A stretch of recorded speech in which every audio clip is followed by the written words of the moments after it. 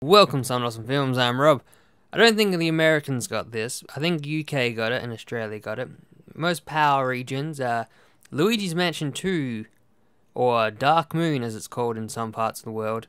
Uh, the case glows in the dark. There, you can faintly see some ghosts on the cover there. They're clear, but uh, if you turn the lights off, put in the dark, it actually glows.